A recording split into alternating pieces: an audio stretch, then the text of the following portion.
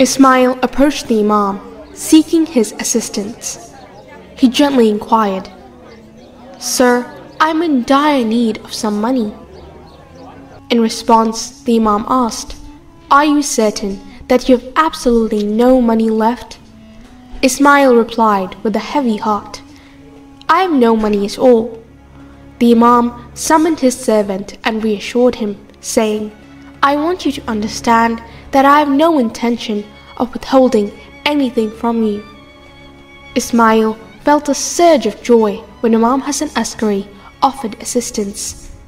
It wasn't just about a coin, it was a gesture of genuine care. Kamil handed over the bag, and Ismail accepted it. He offered a prayer God bless these kind servants a thousand times over for helping me in my time of need.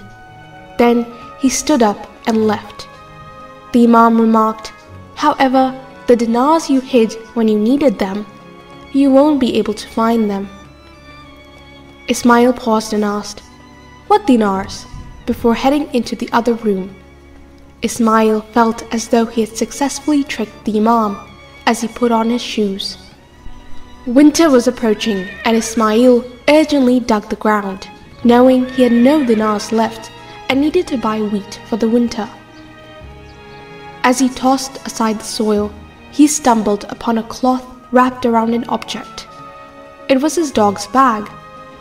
Upon inspection, there was no sign of the missing coins. It had been a while since his son Harith had run away to Baghdad.